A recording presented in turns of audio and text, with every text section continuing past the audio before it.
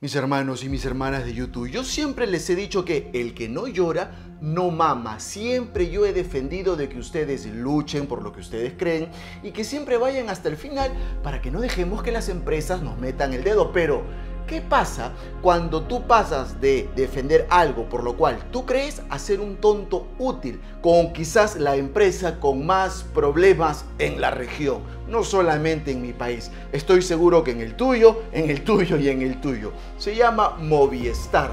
Y como siempre hay que mostrar pruebas. Esta persona en sus redes sociales coloca lo siguiente, yo no he firmado nada, no he aceptado nada y de golpe te suben 10 lucas a la tarifa. Para mis amigos del extranjero le han subido aproximadamente 3 dólares a su tarifa a su servicio. Movistar Perú, ¿qué abuso es este? Y nos presenta además la prueba, que es un recibo, dice en esta nueva normalidad, ta ta ta ta ta ta, tu internet digital lo hemos pasado de un plan al otro antes de continuar, no podemos dejar pasar esta mega oferta. Basta ya de tener Windows u Office falso que solo te crea conflictos, lentitud y virus. Obtén tu licencia 100% original y de por vida. Así formatees tu máquina en casefan.com. Windows 10 Pro por 7 dólares, dos licencias 12 dólares y actualizas gratis a Windows 11 si quieres. Con el cupón LTV62, 62% de descuento, Office 2019 por 32 dólares, licencia de por vida. Y más ofertas solo dando clic en la descripción de este video. Recuerda, solo necesitas meter un correo válido, tu tarjeta de crédito y listo es decir, la empresa no te consulta, no te dice, ¿quieres que te subamos o no quieres que te subamos? Sino que de arranque te mete el pepinillo y te aumenta la tarifa. Lógicamente esta persona se queja y la gente empieza a responder. Me suben tanta cantidad de dinero sin haber aceptado nada. Deben millones al Estado, no quieren pagar y nosotros sí tenemos que pagar sus caprichos. Y Movistar le responde, te comentamos que el cambio de tarifas se ha realizado cumpliendo todas las normas dispuestas por OCIPTEL. Recuerda que puedes escribirnos por inbox, ta ta ta ta ta. Otro se queja, exacto, y lo peor de Movistar, no comunica de la subida de precio. ¿Qué pasa? Y llaman a las autoridades. Un tremendo abuso de esta empresa. A clientes puntuales la excusa es que han aumentado la velocidad de Internet. Movistar responde, es debido a la mejora en nuestra tecnología y red para poder brindarte un mejor servicio. Y sigue así muchísima gente más mostrando sus recibos que le han subido, que hay incrementos, la gente se queja. Y muchos de ustedes deben estar pensando, ah, Lobotec va a destruir a Movistar. Mis hermanos, cuando se tiene que destruir a una empresa, lo hago y ustedes no saben que no me faltan los pantalones para hacerlo. Pero hay que ser justos y correctos, porque a veces también los consumidores cometemos errores. Y fíjate, aquí hay una persona que conoce un poquito más de este ámbito en el aspecto legal y le pone, es una potestad regulatoria entregada a Movistar por parte de Ociptel, la empresa operadora, la empresa que controla, la empresa que salvaguarda estas cosas en mi país, a través de su reglamento de tarifas. Lo que dice esa norma es, si no te gusta el incremento, puedes solicitar la baja sin penalidad de tu servicio. Y abajo ponen, y tienen un monopolio que no me permite dejar su servicio y maltratos. No me permite dejar sus servicios y maltratos. No me permite. O sea, me gusta que me maltraten. En primer lugar, a muchos de ustedes Movistar o de repente otra empresa les ha subido la tarifa, se las ha incrementado, poquito o mucho, no importa, ni siquiera te ha consultado y lo ha hecho. Y tú crees que están abusando de ti y tú lógicamente sales y solamente te quejas. O sea, lo único que haces es quejarte. Miren, ah, me han subido, malo, malo, malo. Y no haces nada, repito, no haces nada. Quejarte es no hacer nada. Porque lógicamente estas empresas, como lo dice este amigo que sí conoce de la ley, tienen la potestad de hacerlo, porque estamos en un estado de libre mercado. Si yo quiero, te puedo cobrar por este anillo 10 dólares, te podría cobrar 100 dólares y te podría cobrar 1000 dólares. Habrá gente que lo pague, habrá gente que no. Lo que estás mal, estás apoyando a las empresas, estás apoyando a la derecha, no estás apoyando al consumidor.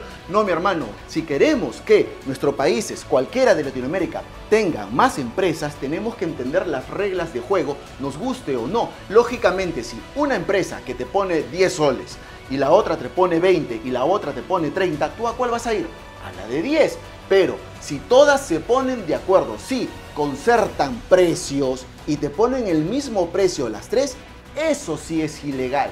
porque de repente, como dice Movistar, están mejorando sus servicios, están conectando a la red de fibra mundial, van a mejorar la velocidad. De repente es mentira, de repente te están metiendo el dedo, pero ellos pueden argumentar eso para subir sus precios. ¿Qué es lo correcto? ¿Dónde entran tus derechos? Más que protestar, a llamar y decirle, ya no quiero el servicio ¿Por qué le van a preguntar? Porque me han subido la tarifa. ¿Sabes qué van a hacer para no perderte como cliente? Ok, señor, le voy a dar esta oferta por los próximos tres meses. Ese incremento no se va a ver reflejado en su recibo y después ya usted lo va a pagar. Y va a depender de ti si quieres escoger o no y aceptar eso o no. Pero tú tienes la potestad de cancelar tu contrato en cualquier momento. Ese es tu derecho. Si yo leyera que una empresa no te permite cancelar su servicio, ahí sí estamos en problemas. Ahí sí están atentando contra ti. Pero tú puedes elegir. Eso es lo hermoso que tenemos en la vida, poder elegir. Eso es lo hermoso del libre mercado. Si no te gusta el servicio que a muchos de ustedes veo, porque esto es enorme la cola, porque les ha subido la tarifa, mis hermanos, llamen y anulen su contrato. Y ahí viene, lo que pasa es que ellos tienen un monopolio falso. El problema es que, ¿saben cuál es? Se llama fútbol. Movistar tiene el campeonato de fútbol y eso no es un monopolio. Eso de nuevo se llama libre mercado la Federación Peruana de Fútbol, la Federación Mexicana de Fútbol, la Federación Colombiana de Fútbol hace y abre una convocatoria. Quien me paga más plata, le doy los derechos de transmisión de mi campeonato. Y el que ofrece más dinero es Movistar porque tiene tu plata. Si tú dejaras a esta empresa, no tendría tu plata. Y otra empresa podría acceder de repente a los servicios y podría acceder a los derechos. Entonces, todo se vuelve un círculo vicioso. Por tu bendito fútbol, por ver tu campeonato, toca decidir, ¿aguanto que me metan el pepino? No me importa, yo prefiero ver a mi equipo de mis amores, a Alianza, a la U, lo tengo que ver, lo tengo que ver, lo tengo que ver. Entonces paga, pues, mi hermano. Todos atacamos a Movistar, yo por decirte soy el que más la ha atacado y ya no tengo absolutamente ningún servicio de Movistar, porque para mí, y es mi opinión, es la peor empresa que existe en mi país. No tengo ningún servicio. Cero. He cortado todos y me he ido a otras. Lo boté que el fútbol lo escucho por radio, pues. O lo veo por internet. Cada quien tiene sus posibilidades. O me voy al estadio. Entonces, si tú no puedes dejar de vivir sin eso, que yo lo entiendo que hay mucha gente que vive, sueña, ama sus partidos, solamente un comentario pequeñito. En la antigua Roma tenían ellos el Coliseo Romano, donde ponían a los gladiadores. Y eso era el opio del pueblo. Así tenían al pueblo entretenido eso era lo importante, no la pobreza, no que no tenían para comer. Se suele usar estas cosas. Y te lo dejo ahí para que lo puedas razonar, porque este video es para razonar. No para que se molesten, no para que peleemos, porque lamentablemente hay cosas que no te van a gustar, pero son las correctas. Si algo no te gusta, córtalo. ¿O tú crees que si tú vas al mercado, tú le puedes decir al vendedor de pollo, oye, el kilo de pollo está muy caro, ¿ah? no quiero, no quiero pagarte eso que me has puesto en la pizarra, te voy a pagar esto que yo creo que es lo justo. No funciona así, ni aquí ni en otros países. No estoy de acuerdo con el libre mercado. ¿Qué cosa quieres vivir? ¿En una dictadura? ¿Qué cosa quieres vivir? ¿En China? Mis hermanos, hasta aquí el video del día de hoy. Espero que les haya gustado, espero que les haya servido. Si ha sido así, dame una manito arriba, suscríbete, comparte. No te olvides que si no has terminado la primaria o la secundaria, lo puedes hacer en el Bruno Traverso, el mejor SEBA de este país. Los libros son completamente gratis y el certificado es a nombre de la nación. Nos vemos en el siguiente video.